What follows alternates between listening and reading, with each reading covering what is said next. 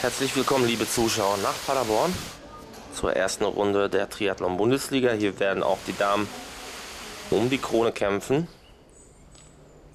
und versuchen, so viele Punkte wie möglich zu sammeln beim Paderborner City Triathlon. Diese Veranstaltung hat ja eine lange Tradition und äh, wird jetzt das erste Mal Standort einer Bundesliga-Veranstaltung sein. Dane Boter im Boot, mal als Siegmaringen, hier bei Ihnen Vorbereitungen. Und auch Irina Kirchler bereitet sich da auf ihren Wettkampf vor in der Wechselzone. Schon sind die Athletinnen im Wasser. Bei den Damen gab es nur Einlauf im Grand Prix zu bewältigen. Also nicht fünf Leute wie bei den Männern, sondern nur einer. Das heißt, man muss sich gleich mit allen Konkurrenten messen. Die Distanz ist das gleiche wie bei den Männern, also 250 Meter gilt es zu schwimmen hier in der Schwimmoper von Paderborn.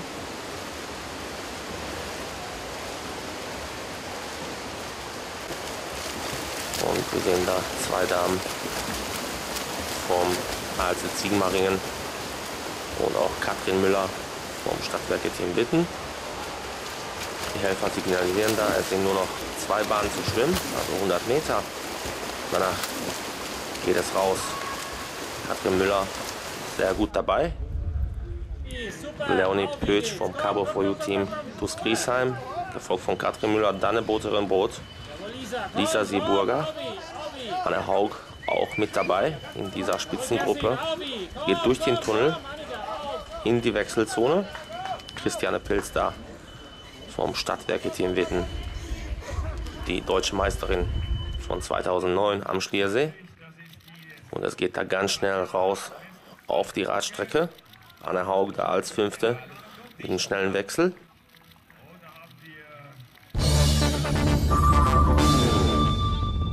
Wie schon gesagt, die Radstrecke ist flach, sehr, sehr schnell, aber auch technisch anspruchsvoll mit zahlreichen Kurven gespickt und äh, stellt hohe Anforderungen an die Athletinnen.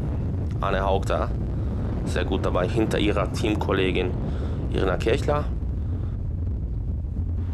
Und Anne Boterin Boot leistet da die Führungsarbeit vom ALZ Siegmaringen, gefolgt von Lisa Sieburger von Cabo for You, Dus Griesheim. So, es geht schnell um die Kurve. Und da sehen wir auch, da gibt es eine Verfolgergruppe, ungefähr 15 Sekunden hinter den Führenden. Und da ist auch die Christiane Pilz dabei, die deutsche Meisterin vor, vor zwei Jahren. Irina Kirchler macht da mächtig Dampf, will es unbedingt vermeiden, dass die Verfolgergruppe an ihre Gruppe herankommt. Und jetzt gilt es, in die Wechselzone reinzufahren, dann den Wechsel schnell zu vollbringen. Irina Kirchler als erste in die Wechselzone. Da sind aber auch drei Athletinnen vom äh, Cabo for You TuS Griesheim dabei. Katrin Müller vom Stadtwerke Team Witten. Schneller Wechsel. Sie hatte die Laufschuhe schon an. Und Anne Haug, sie ist eine überragende Läuferin, vielleicht die beste Läuferin in diesem Feld. Macht sich da gleich auf die Verfolgung. Schon sind sie zusammen, Katrin Müller und äh, Anna Haug. Anne Bote im Brot auf 4, Irina Kirchler auf 5, Kerstin Lüken auf 6 und das ist Leonie Pötsch, auch vom Cabo for You Team Dus Griesheim. Olesja Pristako in dieser Gruppe vertreten, in der zweiten Gruppe. Und mittlerweile hat es Anne Haug geschafft, sich abzusetzen. Katrin Müller dann auf 2, ungefähr 20 Meter hinter ihr. Und Dana Bote im Brot. Ich glaube, sie möchte da noch ein Wörtchen mitreden bei der Vergabe von Platz 2. Und das ist schon Christiane Pilz. Sie ist vorgelaufen auf Platz 4, gefolgt von äh, Irina Kirchler und Lisa Sieburger. Und Anne Haug läuft jetzt ihrem äh, sicheren Sieg entgegen. Ganz souverän gemeistert den heutigen Wettkampf. Anne Haug auf Platz 1. Katrin Müller auf Platz 2. Anne Boterenbrot auf Platz 3. Eine sehr gute Leistung der Athleten, der, der Athletin aus Sigmaringen, Christiane Pilz auf 4. Und äh, da sehen wir uns auch einen Sprint um Platz 5, Irina Kirchner und Lisa Sieburger. Alle Sekunden zählen. Anne Haug auf Platz 1, Katrin Müller auf 2, wie gesagt. Kerstin Lüken auf 8, Natascha Schmidt auf 9 und Leonie Pötsch auf Platz 10. So, und jetzt gilt es, die Kräfte zu sammeln für den morgigen Wettkampf, das Verfolgungsrennen. Und schon sind wir zurück nach Paderborn, wo es heute über die Sprintdistanz gehen wird, ein Verfolgungsrennen. Das heißt, die Damen werden mit Handicap gestartet mit der Zeitunterschied von gestern. Das heißt, Anne Haug wird als erster auf die Strömstrecke gehen, gefolgt von äh, Katrin Müller und Anne Boterenbrot. Da sehen wir schon die Holländerin im Wasser. In der letzten Vorbereitung. Die Christiane Pilz, die hat da mächtig ihren Spaß. Es ist äh, kurz vor Mittag und die Athleten machen sich auf den Weg. Das war Anne Haug mit ihrem Start. Die Athleten machen sich schon ihre Taktik zurecht. Katrin Müller als Zweite gestartet, Anne Rot als Dritte. Das ist der Start von Christiane Pilz, der deutschen Meisterin von 2009. Das sind Irina Kirchler, Lisa Sieburger auf 5 und 6. Mal schauen, wie es heute gehen wird. 750 Meter gilt es heute zu schwimmen im warmen Wasser ungefähr 28 bis 29 Grad. Die Wassertemperatur hier in der Schwimmoper. Und da sehen wir sehr schön zusammenarbeitend Lisa Sieburger und äh, Irina Kirchler. Alle Athleten sind schon im Wasser. 8.30 die Zeit schon vergangen. Und da kommen die ersten aus dem Tunnel. Durch den Tunnel in die Wechselzone Anne Haug, Katrin Müller und Anne Botrömbrot. Und äh, sie werden jetzt wahrscheinlich versuchen, als Dreiergruppe wegzufahren und sich äh, von den Verfolgern so abzusetzen. Auf dieser kurvigen und technisch versierten Strecke vielleicht gar keine schlechte Idee. Ach, sie hat da sehr viel Spaß beim Wettkampf. Christiane Pilz.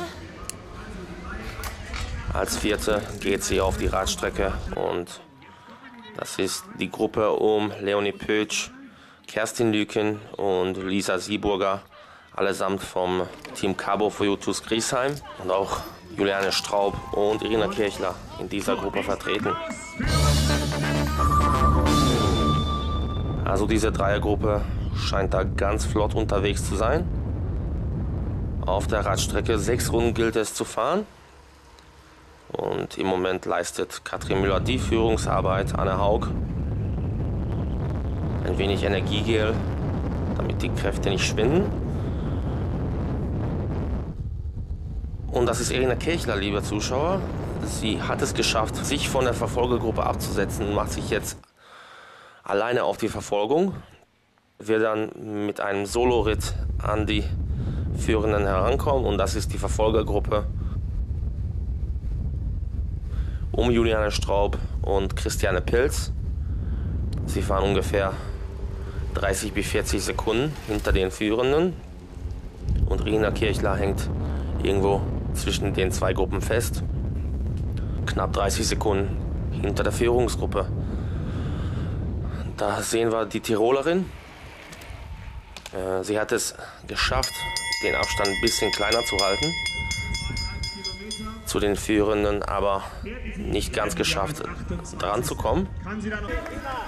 Anne Haug als Erster geht sie in die Wechselzone, gefolgt von äh, Katrin Müller und Anne Boterenbrot. Also Witten, Sigmaringen und Erlangen. Drei verschiedene Teams in dieser Gruppe vertreten. Anne Haug ganz schnell mit dem Wechsel. Danach Katrin Müller und Anne Boterenbrot. Mal sehen, wie es heute ausgehen wird. Ich glaube, Diana Haug möchte da nichts dem Zufall überlassen. Und Irina Kirchler als Vierter ging sie auf die Laufstrecke, Juliana Straub auf 5, Lisa Sieburger auf 6. Und da sehen wir auch schon die Führende. Das ist Anne Haug. Ist sehr, sehr schnell unterwegs. Zwei Runden gilt es zu absolvieren. Die Strecke dieselbe wie für die Herren. Also es gilt da auch zweimal über die berühmt-berüchtigte Wendeltreppe hochzulaufen. Und das kann einen ganz schön aus dem Rhythmus bringen. Das ist die Christiane Pilz. Und gleich hinter ihr Juliane Straub vom äh, Synergy Sports TV Erlangen auf Platz 6. Sehr flott unterwegs. Schon auf ihrer letzten Runde, auf ihrer zweiten und letzten Runde. Anne Haug, Katrin Müller ungefähr 30 Sekunden dahinter. Und es gilt jetzt auch für Anne Haug, die Wendeltreppe zu absolvieren. Die Zuschauer sind ganz gespannt. Und da sehen wir auch schon die Siegerin des heutigen Tages und des Wettkampfes hier in Paderborn, Anne Haug, die Siegerin im Einzel. Auf Platz 2 Katrin Müller vom Stadtwerke Team Witten. Eine gute Leistung des Kaderathleten. Und auf Platz 3 aus Holland Dane Boterin Brot vom Team ALZ Sigmaringen. Und in der Einzelwertung Anna Haug vorne, Katrin Müller auf 2, Dane Boterin Brot auf 3. Und Olesia Pristago komplettiert unsere Top 10. Die Athletinnen haben da mächtig Spaß und Gesprächsbedarf nach diesem Rennen. Und in der Teamwertung, da gewann das Team Synergy Sports Erlangen vor dem Stadtwerke-Team Witten und Cabo for You Griesheim. Sehr gute Leistung. Und liebe Zuschauer, auch bei den Damen wird es weitergehen am Schliersee am 2. Juli. Schauen Sie vorbei.